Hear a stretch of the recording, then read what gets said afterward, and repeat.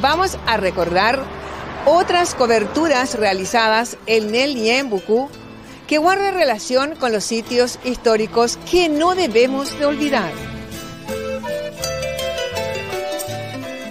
Y aquí no se trata de incentivar ningún espíritu bélico, pero tampoco podemos ignorar nuestro pasado, que hasta hoy genera sentimientos encontrados, inclusive críticas maliciosas por lo hecho en los sitios históricos del Niambucú, que en realidad es muy poco comparado con el sacrificio de nuestros antepasados, que entregaron todo para defender un Paraguay diferente y que hasta hoy no se pudo levantar como entonces.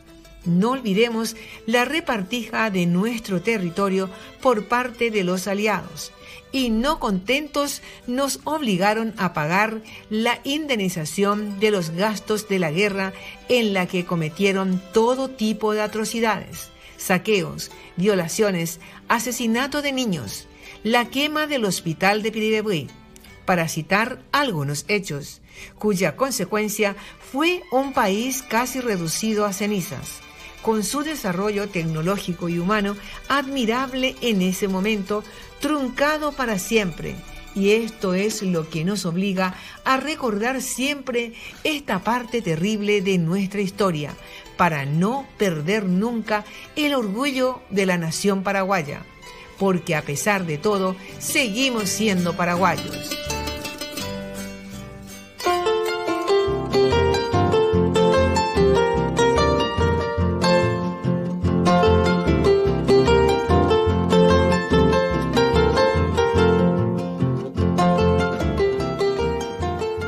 En esta nueva cobertura por el departamento de Ñembucú no podíamos dejar de visitar Humaitá, la ciudad de la heroica resistencia. Y vaya que es heroica. 150 años después de la gran catástrofe sigue en pie.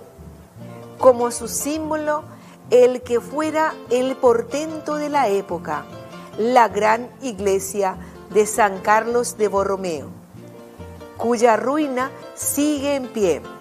Y al decir del intendente, lo que no pudieron las bombas, ahora lo están logrando las aguas.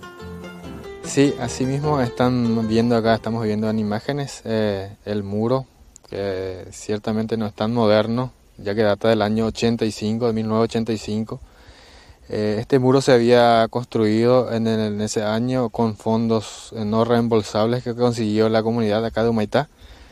Y ya, obviamente que ya llegó la vida útil de, las maderas y por culpa de, este muro tan obsoleto ya prácticamente eh, tuvimos un hundimiento de suelo prácticamente enfrente, al costado y en el patio mismo de la ruina y eso eh, a simple vista apeligra la integridad, o sea, la ruina de Humaitá. Y yo les rogaría a los gobernantes, eh, al, gobierno nacional, de que tome interés, de que esto realmente se construya algo lindo, algo ya que quede en el recuerdo, algo, eh, queremos una, una obra, ¿por qué no?, arquitectónica, para que esto sea también a la vez un atractivo turístico más.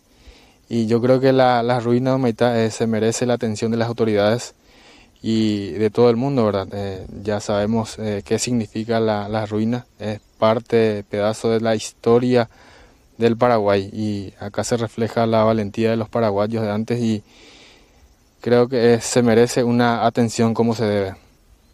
¿Algo más, intendente? No, y agradecerle a ustedes por, por venir y por el espacio y ojalá que esto, como les dije, ¿verdad? De que las autoridades nacionales eh, tengan un poco en cuenta eh, el tema de las ruinas, porque esto es algo, si, uno eh, comienza a, averiguar de historias, esto es algo valioso, grandioso, es, no tiene palabras para describir y ojalá que todas las autoridades seamos patriotas por sobre todo. El intendente de Humaitá le pide patriotismo a las autoridades. Y nosotros nos preguntamos, ¿es que no lo son? Y si fuera así, ¿qué hacen en sus cargos? ¿no son acaso representantes de la nación paraguaya?